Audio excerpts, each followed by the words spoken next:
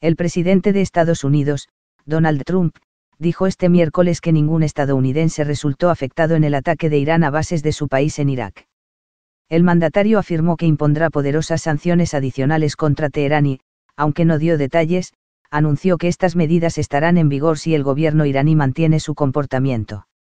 Soleimani, líder de los Quds, la fuerza élite de la Guardia Revolucionaria iraní, murió el viernes en un ataque de dron ordenado por Trump, según dijo el Pentágono.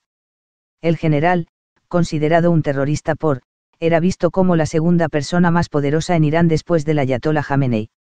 Su asesinato ha generado masivas manifestaciones que piden respuestas proporcionales. Trump señaló que Irán parece estar cediendo el conflicto con su país. Y esto, dijo, es algo bueno para todas las partes involucradas y algo muy bueno para el mundo. El presidente pidió a Rusia, China y las potencias europeas que, como él hizo cuando llegó al poder, abandonen el acuerdo con Irán de 2015 que suspendía los proyectos nucleares de ese país. En días pasados, Trump amenazó con una acción militar contra Irán si el país atacaba a personal y bases de pero en este mensaje no anunció nuevas acciones. Los iraníes también parecen estar señalando, a pesar de las continuas amenazas, que este podría ser el momento para que ambas partes hagan una pausa y respiren.